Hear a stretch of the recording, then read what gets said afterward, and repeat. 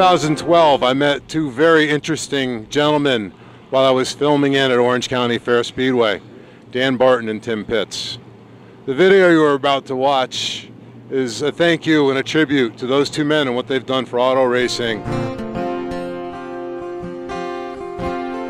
Welcome to my broke down palace on my hands and my knees. I will roll, roll. Dan Barton was the true uh, patriarch of videography here at the Orange County Speedway. Began just a year or two after I arrived here. Basically, his tenure was through the uh, last half of the 80s, all through the 90s. Uh, very committed, very loyal, a one man band, did a great job every Saturday night, uh, had good equipment, not a lot of it because he was all by himself. Uh, would wheel in here with a shopping cart just full of equipment every Saturday night, uh, captured every bit of the action from start to finish till the final checkered flag at the end of the night. Uh, you know, he was committed to Orange County, but he also had done a lot of filming elsewhere. He, he roamed Accord Speedway a lot as well. You know, he was the first full-time videographer here at Orange County and, and did a great job uh, he was the type of guy that could watch the action, knew a lot about racing, and he could pick up on just about where either a good battle was going to take place or where possibly a caution was about to take place, and he was right on it. You know, he, was not a type of uh, video team that would uh, only, only watch the lead guy for 20 laps or only watch the slowest car because it was easy to follow. Dan was right there in on the action. It was, was, like I said, was one of the first true videographers here at the Orange County Speedway. He was a great addition to the Saturday night show because back in those days, the race fans really took advantage of buying the VHS tapes. You know, not only did the, the teams themselves want a copy of the race uh, that they were racing in every Saturday night, but the fans as well kept a lot of the uh, the videotapes from year after year. Uh, winter months when there was nothing left to do, hey, you popped in those VHS tapes and away you went. And of course, one thing that we always look forward to at the end of the season was his season wrap up, which he called the Danger Zone tape, and it contained all the thrills and spills of that season. Uh, so it was always something that everybody looked forward to purchasing was uh, Dan Barton's Danger Zone video uh, at the end of every year. So uh, he was always famous for having the crash video. Uh, and we'd always look forward to getting that and the music that he played with it and stuff. He was Usually some Top Gun stuff and all that stuff back in the day. That was the cool stuff. So Dan, Dan was the guy that did the videos. He took videos and gave me one pretty much every week. And I basically told me study this, and I did. I studied it really well. A sight you won't see too often. Brett Hearn. Final qualifying tonight here at the Orange County Fair Speedway. We used to uh, we used to get Dan's uh, videos every week, and we went into the, the street stocks, uh, pro stocks, and we just continued. I have a a closet full of Dan's videos. And remember Dan Barton is uh, every Sunday night, so actually Sunday afternoon, I'd ride to Newburgh get a video. That way, right after dinner Sunday night, we could uh, go over what we did on Saturday uh, by watching his videos. That was the early 90s, late 80s, all the way through uh, 96, 97. I remember doing it. Yeah, uh, watching Dan's videos back in the day was was really awesome. I mean, when I first started racing. Um, especially my mom. She couldn't she couldn't wait to hand me that twenty dollar bill to go get that video for that next week, and uh, so she could have that and put that in the collection at home. Now here's one of Dan's classic uh, tapes from Big Race here at the Speedway. So sit back and enjoy some of the clips from Dan Barton's racing videos.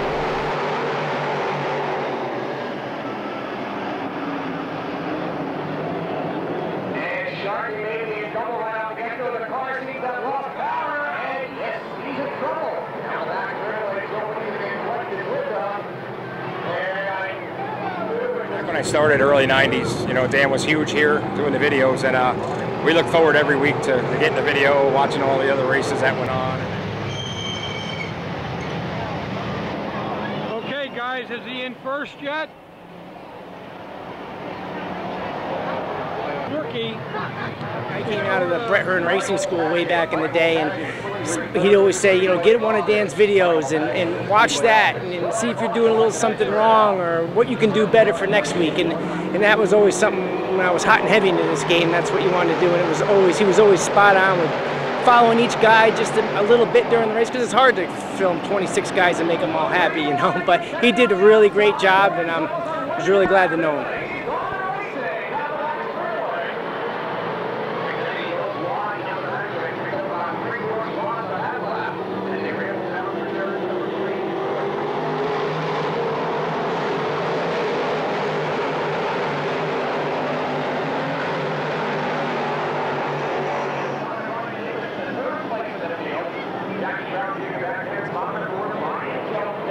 Like any other sport. If you watch video, you can learn a lot from video, right? So they watch it in basketball, football. It's all about watching what you did, what you didn't do, and kind of rethinking the race a little bit. And I used to do that all the time.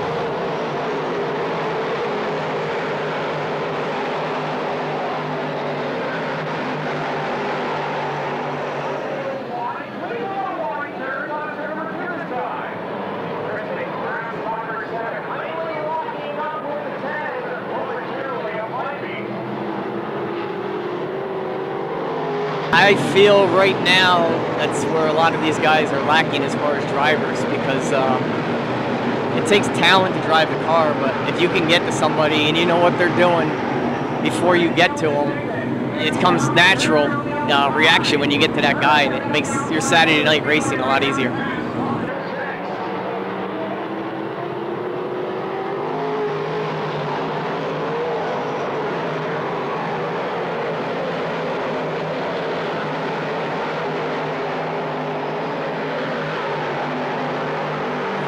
Uh, before I started racing, he was doing the videos here um, back in the probably late, you know, early to mid 90s, late 90s. Um, when I started racing, I'd buy the, the videotapes every week.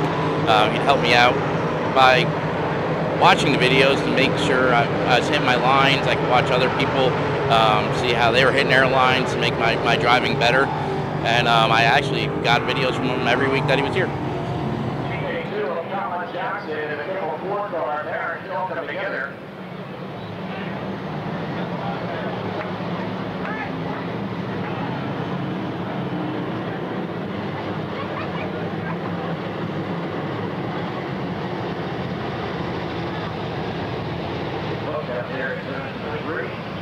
Yes, Dan Barton goes back many years. Um, Dan used to uh, video the race every Saturday night here for many years, and uh, I remember getting the videos from Dan every week, and uh, it helped a lot actually to go back and look at the race and, and analyze what we did and how we can make things better.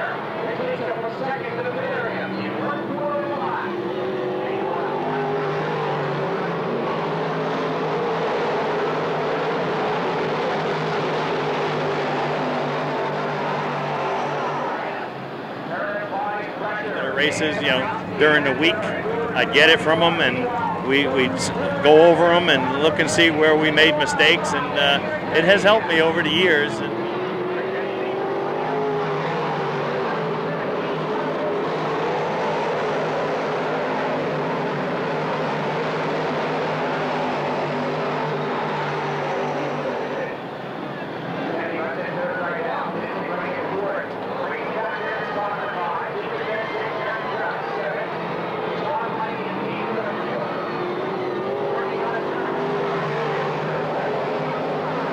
Barton. Uh, well, he was always here. He was always with a smile. And to this day, I still have a television that plays the VCRs, and I won't get rid of it. So, here's to Dan.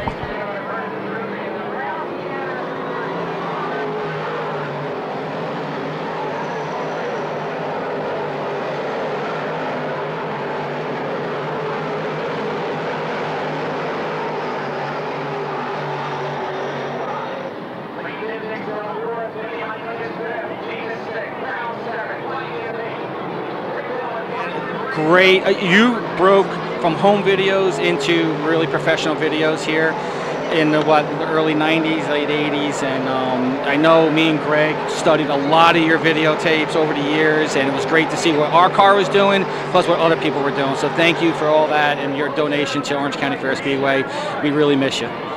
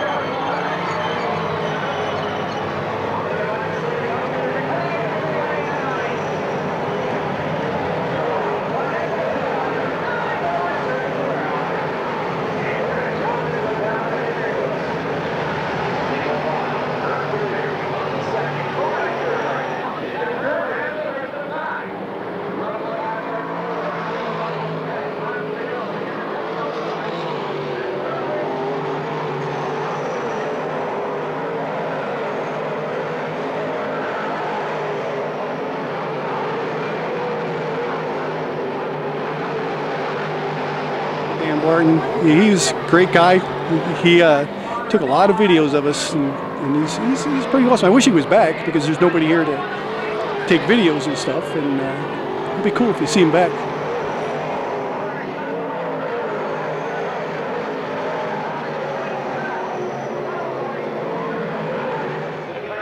spot number five. Then Jeff Carroll, junior with a six spot. Seven, John Whitey. Eight is the number 55 of Whitty. Ninth, the 77 of Mill. And 10th, the 24 car of Chris Schultz. Top 10 recap. 16 down, 9 on top.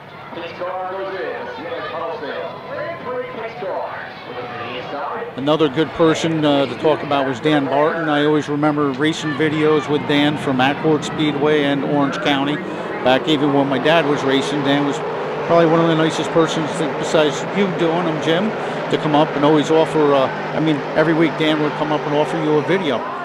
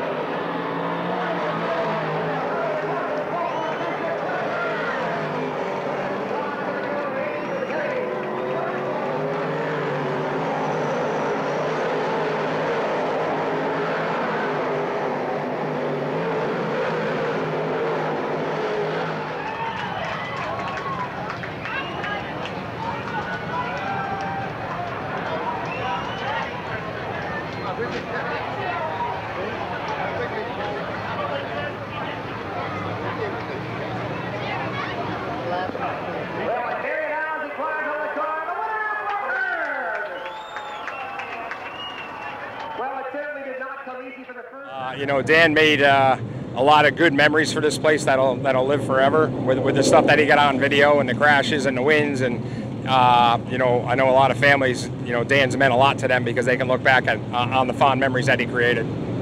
Great guy, great guy, and uh, he always took care of me, so he's a great guy. And uh, thank you for the many years of videos. We appreciate it here. Thank you. And, uh, we still study videos. So Dan was a big part of it. I wish him well. I appreciate every one of your videos, and I know my dad did too. And we want to say thank you for everything, Dan. You're a great person. So yeah, Dan Barton, the true patriarch. We love him. We're so so happy that he was part of the Orange County racing family for as long as he was. And like I say, we still uh, appreciate the fact that he tries to get out here at least once or twice a year and take in a race.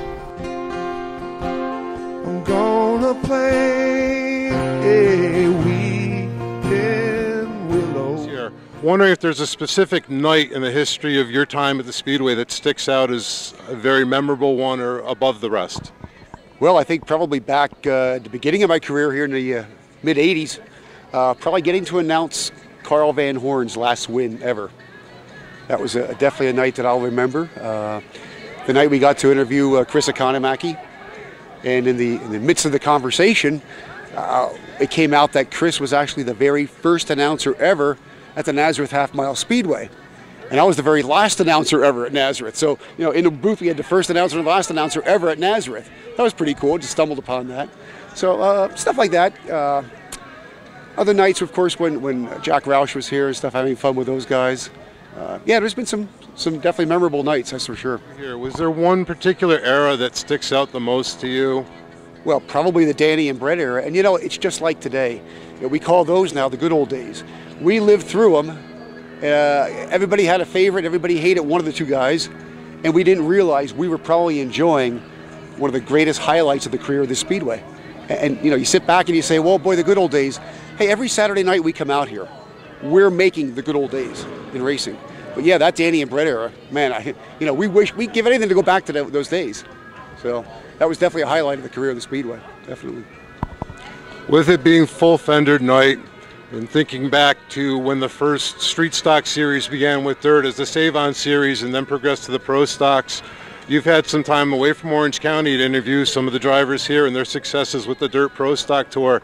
Are there things that you can take away from watching the McGannon brothers, Tom Canizero, Tommy Cook, Billy Casquell, and how well they were away from Orange County and even more dominant in their years at the Moody Mile? Well, the thing of it was, the drivers that graduated up into the pro stock ranks, it was great back when I had the opportunity to announce at Syracuse to see some of the Orange County guys there and doing so well. It's like you knew they cut their teeth right here at the hard clay.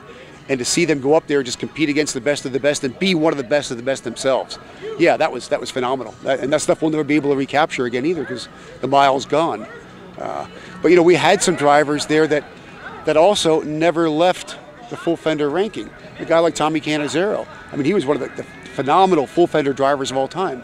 Never went up to open wheel, and still has the records and stuff today to, to show for in full fender excitement. If we jumped into the time machine and you could take one thing from any era of the racing and bring it to modern day, what would that be? I wish that the uh, the pro stocks back in their day, the full fender pro stocks, would have really just blossomed. I mean, we always had car count trouble. Uh, you know, back when they finally did away with them, there were only six or eight cars coming out a week. That was such cool racing. The cars looked cool. The racing was cool. If we could have had 24 of those guys every Saturday night, that would have put this place on the map in a whole different category.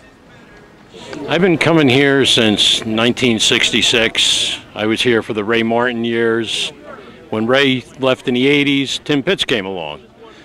It was a bit of an adjustment, but Tim became family up here. Tim was the guy. I mean, he kept him moving all night, has his quirky little sayings and things he likes to say, and Buck Marl down to about two gallons of Java. We'll take him home the rest of this feature event as pilot of the pace car. Bob, if you will. Gentlemen, start your engine. There you have it. The command has now been given. When you hear the voice, you know you're at Orange County. Yeah. Thought you're gonna see a checkered. Now you're not. Yellow, yellow lights on. You there like a buzzard on roadkill is Tyler Dippel. Shoo, shoo, get away from me. One of my be- favorite sayings is uh, we could throw a blanket over them, but we wouldn't do that because then they can't see. Pushing. Boy, you could throw a blanket over them, but then they couldn't see, and that wouldn't be very nice of us. One of my favorites. Another one of my favorites is don't try this at grandma's house. Crowell exits turn number two, waves bye bye.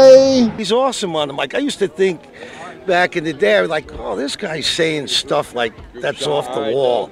But then it would hit you. You'd go home and you were And you saying you were talking saying it all the time. You know what he was talking about, Very, yeah. very good. And you Good Oh, baby, baby. Down the back straightaway they navigate.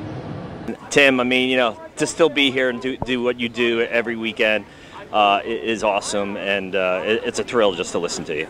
If Dodd's gonna do it, he's gonna have to do it the hard way. Dodd has definitely got some extra horsepower. Swaps lanes on Uric. That's what he wants to do. That's where he wants to put him. He knows Uric is at the disadvantage right now. And a new race leader, it's given to Steve Dodd. Dodd worked him well. Walked to know he wanted to, where Uric wanted to go. And he pinched him. He knew he couldn't go down to the inside. Uric did want to be on the outside. Tim Pitts, a fixture here at Orange County Fair Speedway. Steve Dodd had a mission in mind. He knew he had some work to do. He planned that out. Talk about strategy, like my good friend Bugs Bunny always says. Many years, uh, many good times in Victory Lane, uh, being interviewed by Tim Pitts. A lot of good memories. Checker flag, make the check payable to Steve Dodd. Chris Schultz second. Tim's been around long enough. Uh, he's got a lot of stories here as well. And um just uh, a tribute to somebody that loves the sport as much as he does and can stick it out for as many years as he has here at Orange County. And I know I appreciate it. I'm sure a lot of other people do have him around. Gary Edwards picks up the number one spot. Spellman scraped the inside masonry. Did that cause any problems with the car? We don't know. Did the lap traffic finally slow up those uh, race cars down there in three and four? We don't know. Did Ken White finish that fourth dozen of donuts? We don't know. Outside lane opening up. And trouble. Oh, this is not good. Tim Pitts, uh, what what a what a icon of Orange County Fair Speedway. I mean, from from me coming here as a little kid and hearing he, he's like the Mike Joy in NASCAR but of Orange County, and you just hear that voice and we take it for granted because we're here all the time. But it's such a how he comes up with all that stuff to say and to keep everyone entertained through rain delays, through that. He's just and he's always on his game and uh, another icon of uh, Orange County and I just love seeing him around and saying hello and he's always got something to say and he knows so much about this game. So uh, another great guy. Right here at this legendary House of Power, the Orange County Fair Speedway, where since 1919 on a weekly basis we've been lighting up the County of Orange with high-speed racing excitement. You know, back almost 100 years ago, they called this famous track the Harry Clay Oval. They had a football field in the inside at one time. Then it was named Victory Speedway for many years after that. Checkered flag. Make the check payable to Hollywood Frank Mitchell. Chuck McKee is second. Remember being a kid up in the stands, uh, listening to Tim Pence, you know, with his bumper to bumper, door handle to door handle. Number one that time. Didn't see the third brake light on the number two X car. Almost wadded that baby up. Made Distal Burgers Moo Cows head for the barn on that move. Uh, was talking, and you know, I've been friends with him ever since I started racing. Uh, he did a lot when, um, you know, Barbara Luce had passed away. Uh, he did a, a lot of tribute stuff for her. Um, I, and I think, um, you know, Tim, Tim Pitt's a great guy. The wind was strong the entire race long, but it looked like the last three or four laps where he really started to finalize his things, and he had about a The good thing I don't know if you know, he asked Tommy Meyer, "Do you believe in time travel?" Here's a question that probably you've never been asked before in racing and probably never will be asked again. Do you believe in time travel? No. No. Hmm. When Tommy peeked his head out the car, out of the, his trailer, and then saw his tribute car. Come here. Let- Let's, let, let, let, let me show you something that will maybe turn your mind on time travel. Now I'll bet you you got some goosebumps there you never thought you'd have. Wow, look at that. That's the oldies. That certainly takes you back to 1986, does it not? He understood why Timmy asked him if he believed in time travel. And like I said, that, that just hit me. I didn't even. Yeah, yeah, I've known Timmy for, I don't know, 30 years or something maybe. Yep, drove a race car, right? The number one spot as they head down the back straightaway. That's going to be Reese. Jr. Keep an eye on the move car. Timmy Pitts. He three wheels it off in turn number two. Here they come down. Up against the concrete barrier. For oil slick up here on the top side. But here comes the move car. Timmy Pitts now moves into spot number three. Timmy down to the inside. Watch him as he moves the 73 over. Uh, memory of Tim Pitts. I can always remember him calling me Raymond Tarantino. You know, everybody loves Raymond. That was one of his uh, favorite sayings when I, I ever made it to Vic- Victory Lane. And one of his other good sayings was, you know, uh, reaching in the glove box for uh, Fuzzy's ears. Richie Eurich pulled Fluffy from the hat with a big, big smile. I think we gotta grab Fluffy's ears out of the glove box. Up the top five. Well, as Joseph the Carpenter would say, here's where the sandpaper hits the hardwood. Coming out of turn number four this time, race leader now for the first time in this event is the 97 car Jerry Higbie. Hindley trying to work some magic. Got his hands on the rabbit's foot right there in the glove compartment. Clenches it in his sweaty little palms and takes that car down the back straightaway, trying to close the gap. PDQ this time, ladies and gentlemen, for the first time in the 2013 racing season, it's Jerry, Jerry, Jerry Higbie. Tim Pitts is just a, a classic guy, you know, like uh, right from my, my first feature win, I think in 91, he was on the microphone already. And uh, I remember like right from then, I think I was 19 years old, right till now, you know, I still see him every week, give him a wave. And uh, I don't think this place would ever be the same without him, you know. Uh, his voice. County five decades that is of stock car racing at the Orange County Speedway. Oh, that's ugly. That was ugly. Uh, the music sets that he plays with everything and uh, his lingo and demeanor, I think it's it, it, it really creates a, a better atmosphere for Orange County and it creates something that people are comfortable with from year to year. Ladies and gentlemen, the checker flag is about to unfurl before our very eyes on a turn number four. It's going to be Timmy Hartley. Second Tim Pitts, uh, I got a lot of experience with him in uh, Victory Lane. You know, you never have enough, but Tim's a great guy. He's been around here as long as I can remember. Um, you know, I, I, before I started racing, you know, I was always into the way he come up with his one-liners and, uh, you know, just his voice that carries through the grandstands. Number one and two, the drag race down the back to the Oh, Chuck McKee almost bobbled and wobbled out of turn number two that time. That cost him valuable racing footage on the speedway. Or the meat and the sandwich that time that has pulled himself into the number three spot right now. I mean, he comes up with some stuff that's uh, it's out there, but it's great. And boinkity boink boink. Like, you could put a quarter between them and get a nickel's nest worth of change. Wait, Charlie Donald got a visit over the hallway. It is Stephen Cameron. Couldn't slip a dollar bill between them and make a nickel's worth of change. And it's like, where the hell did he come up with stuff like that? Yeah, yeah. You know? Or giving Joel the nickname the Amish Rabbi. That's where that came from, yeah. Yeah, yeah. So the one time in uh, Victory Lane where he got me and made me kind of feel like uh, I really wasn't that smart when he said the only reason why you won is because you painted your car caution yellow. and you, and you put blinkers, you put brake lights on your car so everybody stops. You know what I think what's helping you this year is you painted the car caution yellow. So when they get behind you, they think the caution's out and they slow up a little bit. Well, I also put brake lights on the car too. I see that you got the switch hot wired so the brake lights are on at all times, right? This time. Last lap racing action, and any one of three drivers can visit us in victory lane momentarily.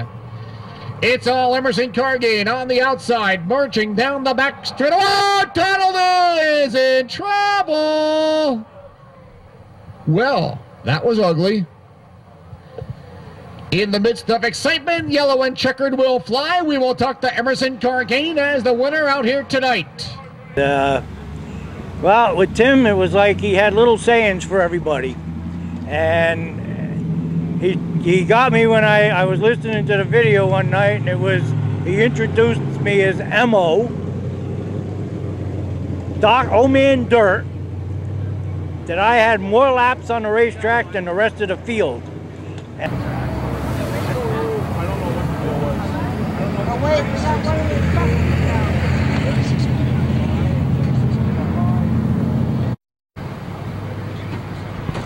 Well, the old man of motorsports hasn't forgot his fast way around the Orange County Speedway. Folks from Middletown Auto Wreckers also coming out to congratulate Cargain on a drive well done this Saturday evening. And I said, uh, when I heard that, it was like, wow, I guess he's right. but yeah, Timmy, Timmy's great. He comes around, he asks questions. He's always, he's here in the beginning, and he always has information when he's doing the, doing the videos and every, doing the, the announcing. And even in, in Victory Lane, I mean, he, he's personable. You know, and he doesn't ask any hard questions, especially for the younger guys because I remember my first one, I couldn't even hardly talk. They'd always pick guys, and he'd always pick me to win. You know, you know, they all picked their favorite guy to win, and I know I was his pick a lot of nights, and that made me happy. So, I've met him a couple times at Victory Lane. He's always a good egg. So, Tim is uh, a fixture here now, and a welcome one. Really, really enjoy is at the end of every Victory Lane where he says, "Thank you to everybody. We love you. Good night." Yeah, great. That's Tim. Great. At the legendary House of Power, as always, please drive safely along the way home. God bless. We love you all. Good night. Lovers come and go, but the river will roll, roll, roll. Going home is going home by the waterside. I will rest my bones. Listen to the river sing sweet songs to rock my soul.